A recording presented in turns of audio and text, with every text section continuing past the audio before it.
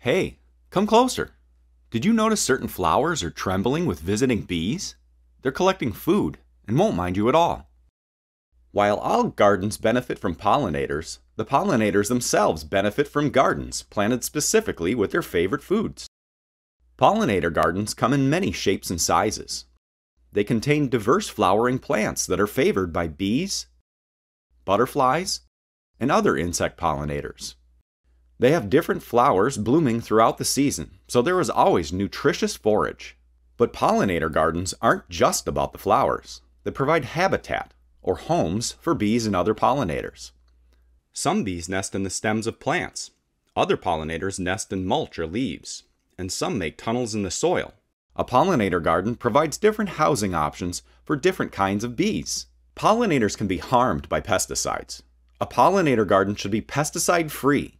That means plants have never been treated by pesticides, either at the seed stage or later. Check out our resource on how to ask a nursery if their plants are pesticide free. And finally, a pollinator garden should inspire others, and you. Be creative and add edible flowering herbs for your tea, a fruit tree, or something special for your favorite type of pollinator, such as milkweed for monarch butterflies.